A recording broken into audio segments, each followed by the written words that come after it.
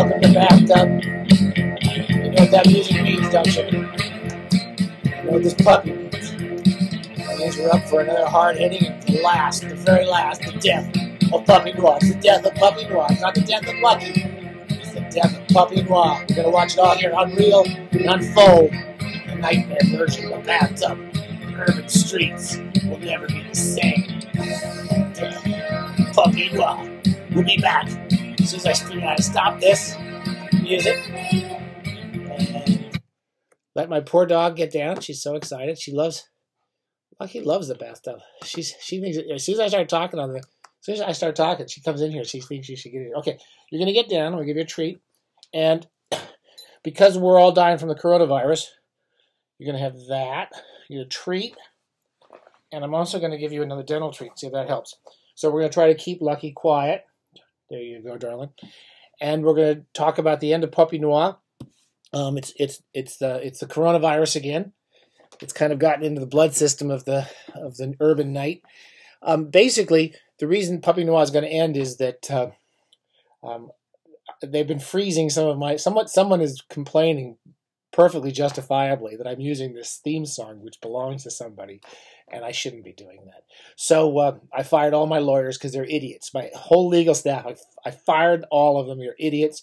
So we can't use that theme song anymore, and there's just no point in just me and Lucky sitting here looking at it because Puppy Noir means nothing without the dog, the Peter Gunn theme song, me, and then nothing, and then the Peter Gunn theme song. So I can't use that anymore. We're finished.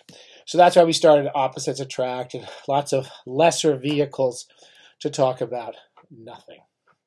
Today, we're going to find a kind of tie up a few loose ends with the, in the bathtub with a lot of the noir stuff we really enjoyed and we'll always be doing noir because I love I love I love hardboiled fiction and detective fiction and anything that doesn't have any redeeming social value. If if it has no redeeming social value, we love it here at the bathtub. And and if you think it has redeeming social value, we're going to try to clear that up and get make sure you're you don't think that much longer. So today we're going to talk about a few things. I'm going to kind of cleaning some of the shelves a bit. Um, since we talked about Vachss, the really good Andrew Vachss. I don't know if I call him great Andrew Vachss, but I think he's a very good writer, Andrew Vachss. I read a few more. Um, I want to just sort of reiterate what I sort of mentioned the first time we did Vachss. You want to come up here? Okay, you come up here. We're not doing anything. We're not going to do anything right today. We're just going to do whatever is comfortable for the dog because puppy noir's ending. I'll just say the the Vachss books I read off and on, here and there, a couple of odd ones here and there. You're going to have to get down if you keep biting. And uh, they do have to be read in sequence. So I, I, I will st- by everything I said about Vachss. He, uh, he's still a really good writer. He's uh, a smart writer. And this, the idea of this kind of Burke character who's going through this super urban night of New York and making his own kind of family, this hard-boiled family. He's got he's got a junkyard dog named the Mole, and he's and he's always picking up these kids who've been abused. The, the abuse, childhood abuse stuff is the disturbing part, and yet there's a kind of family atmosphere because he's he's got a transsexual uh, friend named Michelle who's going through an operation. I think in, in, the last book I was reading, and um, in the newest one that I just finished, Blossom, which is coming early 90s, he meets a woman who's the head of a, what is she, voodoo? She's part of some voodoo network in New York. So anyway, I really I still continue to recommend these. The trick with the Vachss books I found is that the individual books don't quite work as well, say, as a MacDonald Ross Macdonald book does, um, and the um, that's because and there's a sort of a serial nature to them, and they don't read well out of sequence. That, that was my first disappointment. I'm, I'm, enjoying them more as I read them in sequence, so I recommend them in sequence. Um, what else has happened? We talked a little about Cornell Woolrich, and I thought I would show you something that just came in today in the bath, just arrived in the bathtub today, and this is something called the American Mystery Classics by Otto Penzler. He's one of the old, uh, well well known uh, editors in New York who's long been publishing. Uh, a lot of, and republishing some of the old classic crime novels, and they're bringing out Waltz into Darkness, these nice, nice kind of Art Deco sort of covers. And Waltz into Darkness is one of the great Cornell Woolrich longer Cornell Woolrich novels. So it's worth looking at. Um, and it's it'll be out in the next month or two. I might try to do a piece about Woolrich if I can. But it reminded me about how much I loved. Again, we go back to Ballantine. I think I showed you these these great old Ballantine uniform editions. Lucky's trying to claw her way back into the into the screen. Um, look at these beautiful old books. Um, I still think these are the best way to read Woolrich. If you can get these old Ballantine, I think they did these in the 80s. I married a dead man. Lucky, please stop scratching me. Uh, what what's their name? Uh, Carroll & Graf kind of did a version of them, which which is not as good.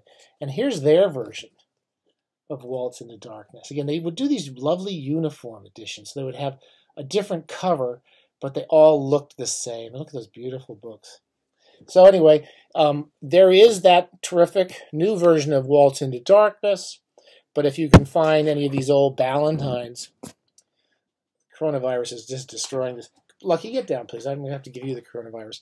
So anyway, that's not, that's Carroll & Graf, but here's all those lovely old Ballantines. Okay, finally, because we can't go very, very long when Lucky's in the room, we have to keep her out of the room because she's, this is the reason why.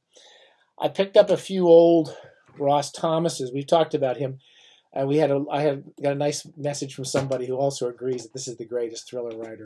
Um, these are some of the old Ross Thomases, and this is the series. Oh, Lucky, please, the scratching. This was one of his last books, Twilight at Mac's Place, and he has these two guys, McCorkle and Padilla. And as I recall, they're old CIA operatives who start a bar in Washington D.C. And he continued. He, he carries this series on throughout his career, and I picked up a few lovely uh, mystery. Is it Mysterious Press versions? And they're all good. They're all good. These are the very earliest ones, and that's one of the last ones. And you can get them in modern editions, but you can't. Uh, uh, you uh, you're much better off with the nice paperbacks. Okay, so I I made the mistake of bringing up the.